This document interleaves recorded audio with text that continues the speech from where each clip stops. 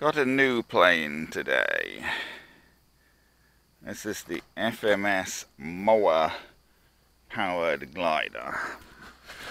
Uh, the Moa was um, a real world glider, quite a successful one that was designed a long while ago, I believe in the 1930s. So it's a vintage glider.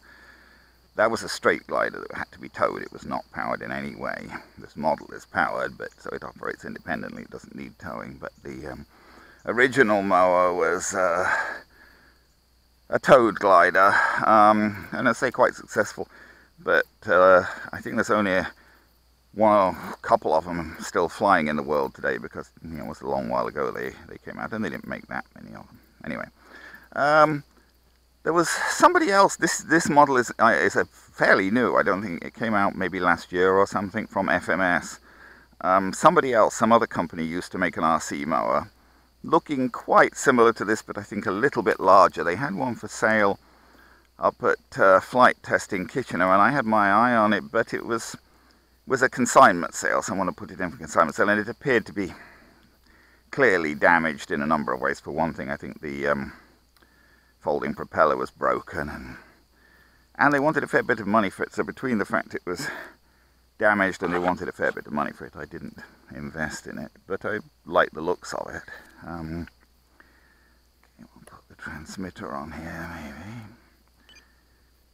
I've got it programmed into my DX9 now I bought the plug and play version so I've put one of my standard little Lemon DSMX receivers in it. That uh, for anything standard where I'm not trying to put stabilization in and I don't need more than six channels. I use those standard little Lemon DSMX um, six channel receivers. This was actually the last one I have on hand, so if I need another one I'll have to get more or steal one out of something else that's not really flying anymore. Um, I've got the flight battery already in here, though it isn't connected up. Um, where are we? Oh yeah, it comes up here. This is a mag. It comes up with a magnet here and comes off. This was um, took a little bit more work to assemble than say like your typical Horizon E-flite things and whatever. It wasn't a difficult assembly particularly, but none of the you know the, the the control horns for the control surface didn't come installed. They all just came in a bag, so you had to install your uh, you know, you had to, the servos were installed, the servo was there, but not the, not the control arm and the control horn, so you had to install your control horns by screwing on the little backing plates and then connect up your, you know, connect up all your uh, clevises, well, set, set your receiver up first and center all your servos, set your receiver up so you could uh, control it and center center all your servos and then adjust the clevises so the control surfaces were centered which I think they are. We'll see when we turn it on and we'll test them again but I think they are. Um, and you know naturally put the uh, tail and the wing halves on and whatever. This is not something you, you would want to take the wing off to bring it to the field. I don't think really you know you've got these two plastic yokes that sort of screw down over the two wing halves and putting them together and getting the yokes up and getting them down is a bit fiddly. It's not something you want to be doing every time you come to the field, I don't think. It's not an easy wing removal. But then again, it's not that big a plane. I think you generally just want to put the wings on and leave them on permanently. Um, when it came, this wire to connect the battery was in the middle compartment. You make sure you pull it forward through to the front before you put the wings on, else you won't have any way of connecting the battery. Um, okay, anyway, so uh, now I've uh, set it up to put the center of gravity.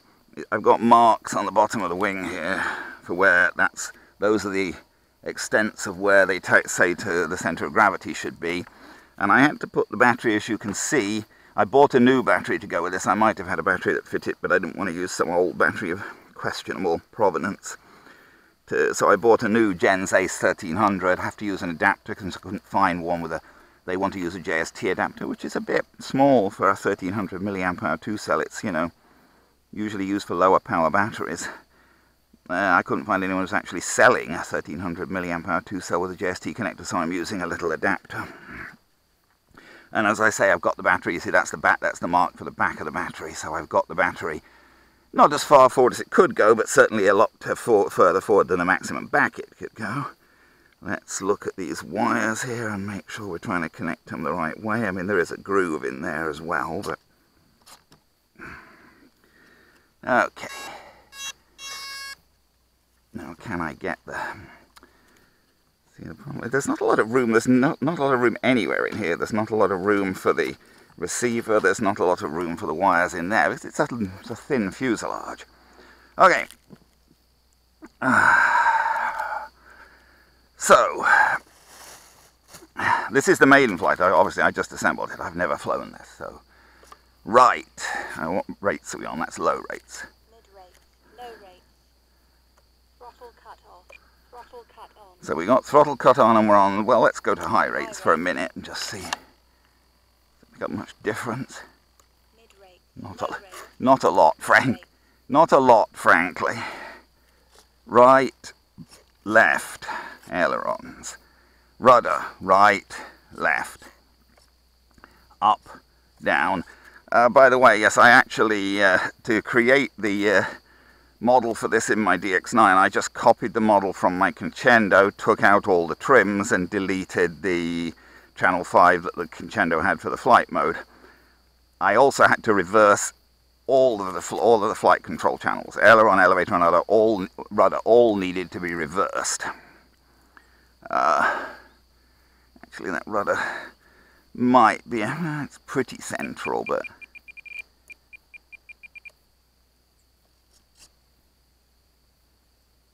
it might. I, just trimming the rudder a little bit there. I think that's about as straight as you're going to get it. I don't know. It's hard to judge. And putting a little bit of left trim into the rudder there because it seemed to me that it wasn't quite centered. Was a hair out. Okay, well, let's see if this thing will fly. It's kind of overcast and uh, damp this morning and fairly cool, but um, no wind really to speak of yet. So we can't throw it into the wind because there really isn't any. I guess we'll throw it, just so we got more room, we'll sort of throw it up runway. And It's actually got little grooves there to put your thumb and finger in.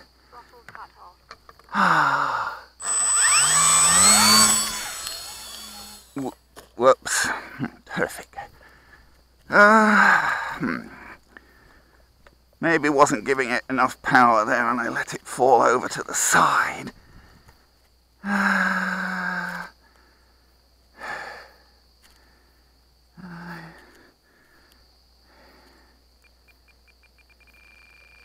No, the other way.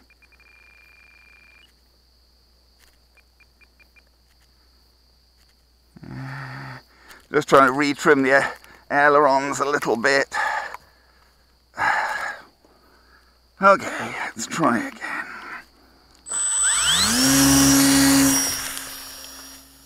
Yeah. Just need to give it a little bit more power to get it up there.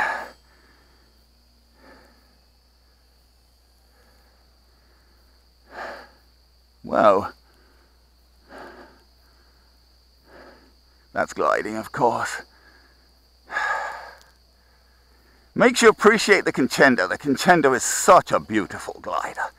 I mean, it just glides. Well, and so does the Radian Extra Large. See, this is, it's gliding quite nicely, I mean, you know, and all that. But it's coming down fairly rapidly for a glider, right?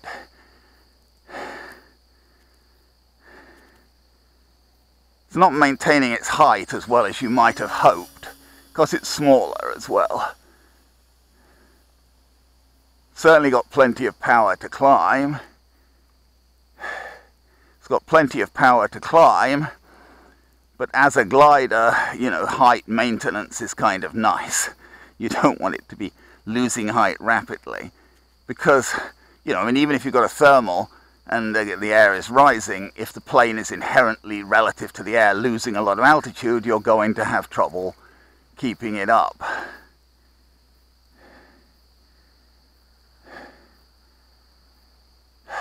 Well, we could maybe trim it up a little bit. Is that too much? Is that going to make it stall? Yes, it is. Yeah, see, that's it just stalls if you trim it up too much.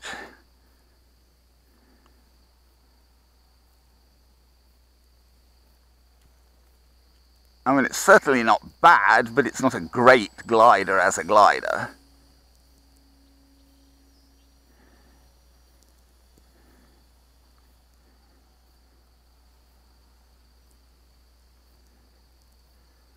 I'm just trying to see if I can trim it any better, but...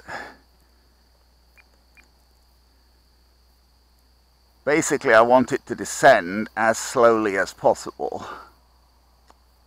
See, it keeps going down when I don't want it to. It's not exactly stalling, but that's trimmed, I think, about as well as you can trim it. Because, you know, if you trim it up any more, then it goes up a bit, then goes down. Of course, if you trim it down more, it comes down quicker.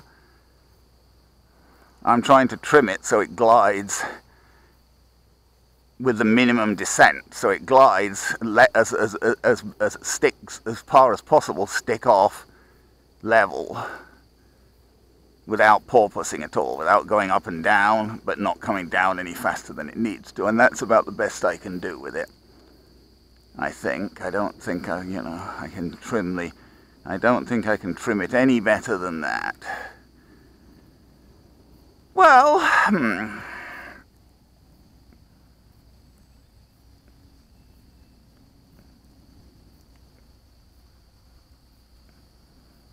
Got plenty of power with that battery to climb for sure. No complaints. No complaints about, well, flaming heck, that was not meant to be a loop. I was just, that was not meant to be a loop. It was a loop, but it, it shows it can loop, I wasn't trying to loop really. I just got a little over enthusiastic climbing there.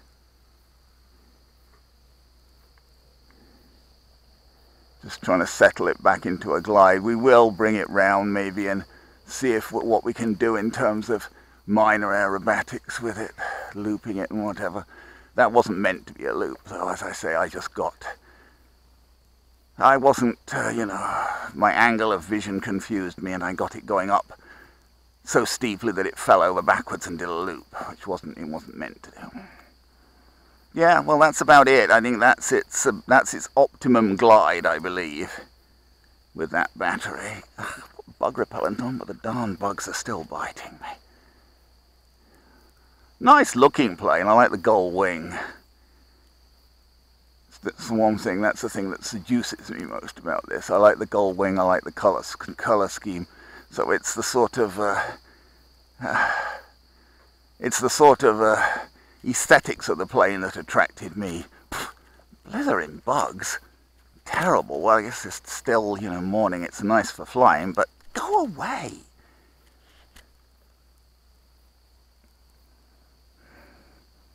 Good Lord, these bugs just won't leave me alone. Get out of it! Really annoying.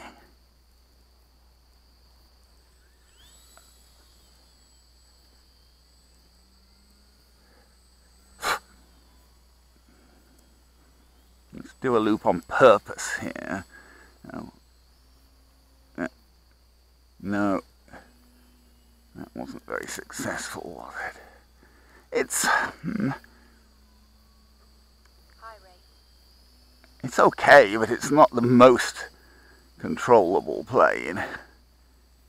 You know, well, it's not meant to be an aerobatic plane, I suppose. Yeah, it's certainly got plenty of power to do a, you know, pretty much a standing loop which you'd expect, I suppose. Not, not go over by the trees there. Well, hmm. Um, oh, and now I, again, I didn't really set the timer for that. I, I, oh, blathering bugs. I had the timer set to six minutes, which is what they got the Conscendo set. I never run the Conscendo to six minutes of motor time, mainly because I'm spending most of my time gliding with the Conscendo. Um, you know, I can run it, keep the Conscendo in the F for half an hour with two minutes of motor time. And by half an hour, even though it's only had two minutes of motor time, the, uh, the, uh, the, uh, you know, just the general control of, you know, powering the receiver at the servos and things. This seems, that, you know, it does need, you have to put the power on it, it, it, it, climb, it you know, performs a lot better, oddly enough. It's a glider, but it performs a lot better. Yeah, see, that's had two minutes of motor time now. It performs a lot better. It's a lot more controllable when you put a lot of power on. if you want to start climbing it and maneuvering it. It's fine to glide it, of course, with no power and whatever, and just keep it level. But if you want to start doing any kind of violent control of it, climbing it, rolling it, whatever, it doesn't actually control that well until you give it a fair bit of power. It controls a lot better if you really punch the power up. When you punch the power up, it's, you know, fine. But it's a bit balky in terms of obeying the controls uh, if you try and do anything at all strongly controlled without, without a lot of speed and power. Sorry, these bugs are a real pest. I'm going to bring it into land now, I think, anyway. I think that's enough for a proof of concept maiden flight. Um, uh, and we'll see, that's two minutes of motor time, basically. We'll see uh, how much of the battery it's used. It's actually very similar capacity battery to what I'm running with the Conscendo, because I have the original Conscendo, not the new Conscendo Advanced.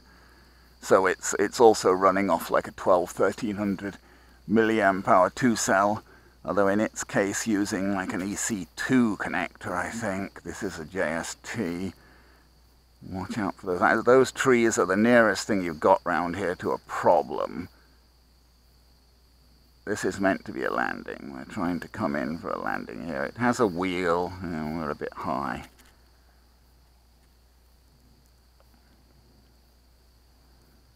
There you go. Uh, not bad, eh? Uh, yeah, I could have brought it out. It would have been a neater landing if I brought it in a bit lower up the first place. Oh, gosh, I've been bitten several times by these confounded bugs. Always like to put throttle cut on before I approach a plane after landing it. If uh, throttle cut's available. Uh, a leaf on. Anyway, um...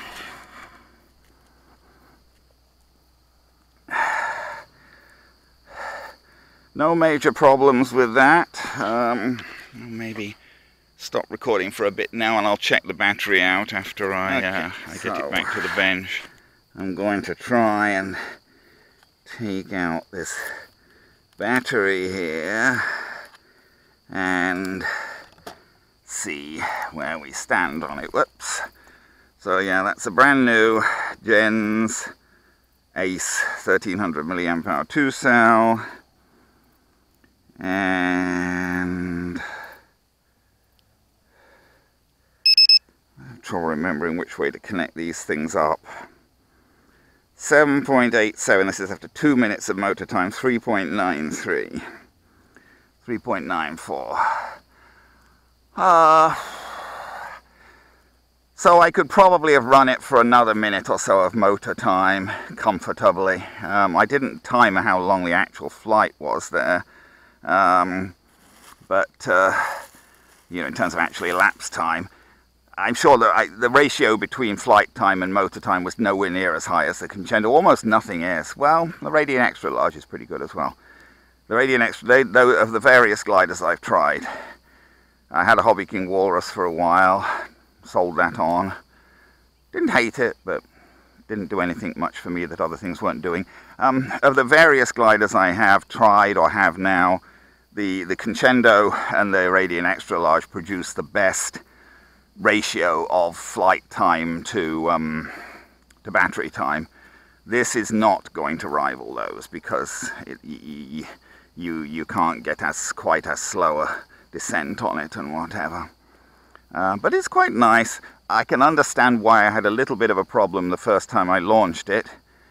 Um, the trick basically is, I would say, just put full power on when you launch it. It, it, it. Especially in lower rates, it doesn't control that well at low speed.